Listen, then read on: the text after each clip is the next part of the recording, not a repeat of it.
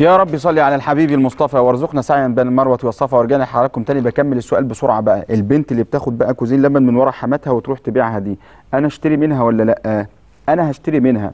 وإن كان من وزر لأن الوزر لم يتحقق. ليه؟ إن كان من وزر هيبقى على البنت. أنا ليه بقول إن كان من وزر؟ لأن ده بيت كامل هم بيديروا أمورهم مع بعض.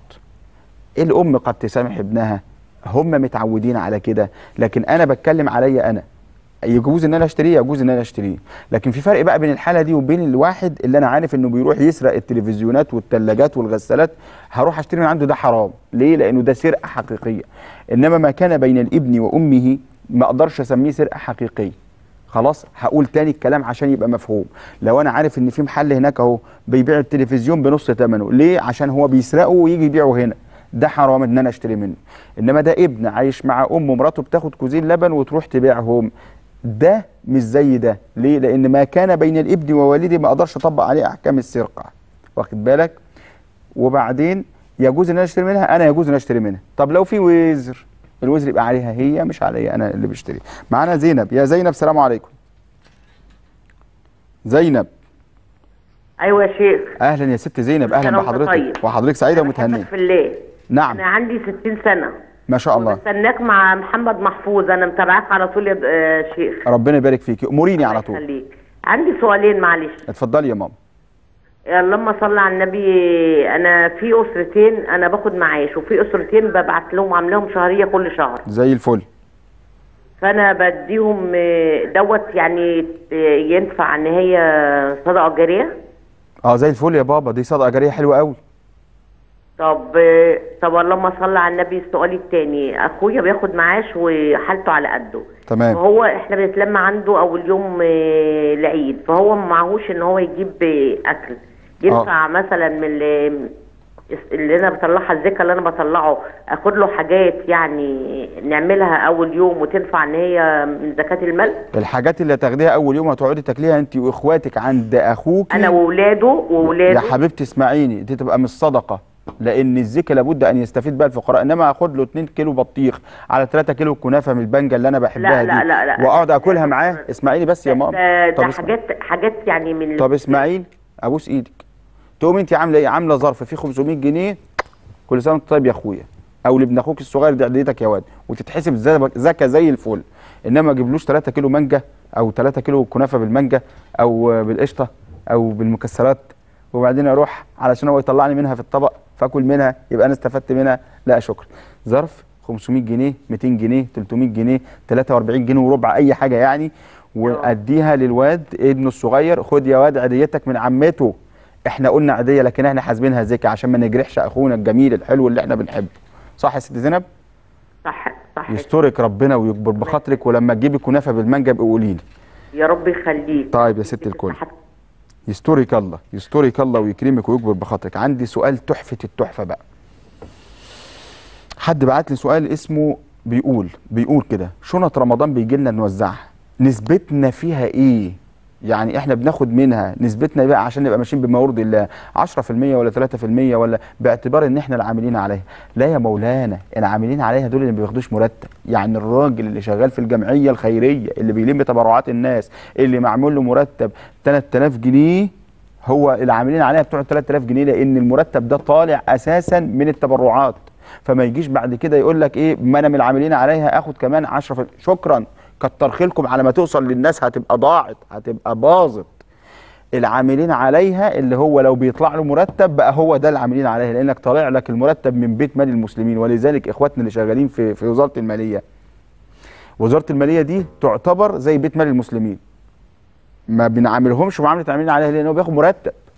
فمرتبك ما تجيش تقول لي أنا العاملين عليا هاخد آه، نسبتي كام؟ مفيش نسبة. دي شكرا. يا راجل بطل كلام. إمتى بقى يبقى ياخد نسبة لو هو ما بياخدش مرتب؟ فنقول له اطلع يا ابني لم تبرعات الناس. ولما يطلع تبرعات الناس المؤسسة تتفق معاه ليك مثلا 10% إنما أجيب شنط رمضان آخد منها السمنة وآخد منها آه، آه، الرز وأديها للناس من غير سمنة ورز. ده يرضي ربنا وتبقى دي نسبتي. ولا هي تبقى 100 شنطة؟ أخد لي أس- آه، 30 شنطة عشان الناس شغالين عندي. وهم الناس أساسا أكتر من ال 100 يعني واقفين بره 500 ما عندناش غير 100 شنطة. أو ما ناخد 30 للناس اللي في الجمعية واخرج 70 ويبقى الفقراء ما كلوش. لا يا إخوان خلونا نتفق أن العاملين عليها هو الأجر الذي يأخذه.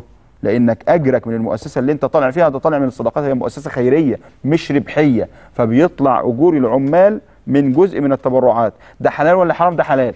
لأنه عامل عليه. ما يجيش بقى هو في كل موسم يقول لك أنا نسبتي كام؟ أمال إحنا مش داخلين مناقصة. أنت دي شغلتك. يقوم الراجل بتاع المؤسسة بقى يعمل لك إيه؟ مكافأة أو منحة. أو إحنا حققنا تارجت آه، فطرنا كذا واحد السنة دي أكتر من السنة اللي فاتت يبقى في مكافأة. يجوز. إنما مش في كل حاجة هتجيلي هاخد منها نسبة يبقى الفقراء هيزدادوا فقرا والدنيا هتبقى باظت. أستاذة منى بتقولي إيه؟ هندعي. طيب بصوا بقى آه النهارده يعتبر آخر لقاء بينا لأن بكرة إن شاء الله هنزع لكم حلقة زكاة الفطر عشان ناس كتير سألت عليها ولذلك أنا ما جاوبتش أسئلة زكاة الفطر النهارده.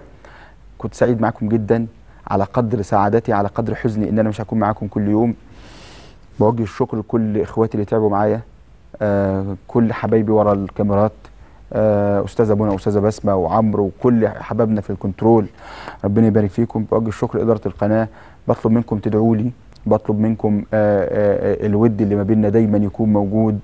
آه الكلام بيضيع طبعا لكن إن شاء الله هنلتقي بعد العيد. في أول جمعة بعد العيد الساعة الرابعة عصرا. يا رب بالمصطفى بلغ مقاصدنا واغفر لنا ما مضى يا واسع الكرم واغفر إلهي لكل المسلمين بما يتلى في المسجد الأقصى وفي الحرم. بحق من بيته في طيبة حرم واسم رسول الله قسم من أعظم القسم. اللهم علمنا ما ينفعنا وانفعنا بما علمتنا. واجعلنا ننشر ما علمتنا بالشكل الذي يرضيك عنا.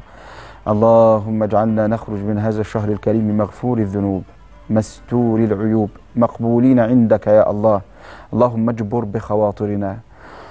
واكفنا شر ما أهمنا وما أغمنا. واكفنا شر نظرة حسد أو حقد أو غل يا رب العالمين. بارك اللهم في أعمالنا وأرزاقنا يا رب العالمين وأعمارنا يا أرحم الراحمين. احفظ اللهم مصرنا وشعبنا وجيشنا وشبابنا وبناتنا وأعراضنا يا أرحم الراحمين. اللهم إنا نسألك نعيم الجنة وطعام الجنة وحرير الجنة ومرافقة سيد رسول الله في الجنة. اللهم رب الحل والحرام والركن والمقام والمسجد الحرام. ارزقنا دوما زيارة المصطفى عليه الصلاة والسلام بأمر الله تبارك وتعالى. تذاع غدا حلقة زكاة الفطر الساعة الثالثة عصرا. إن شاء الله نلتقيكم بأمر الله أول جمعة بعد عيد الفطر المبارك. يوم الجمعة الساعة الرابعة عصرا. كل عام وكل حضراتكم وكل الإنسانية وكل الدنيا بخير وسعادة يا رب العالمين. أشوفكم على خير. السلام عليكم.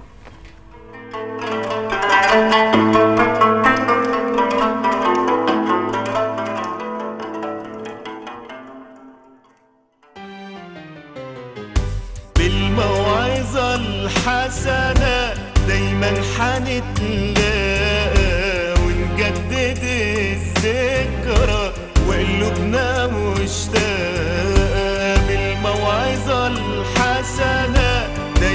دايما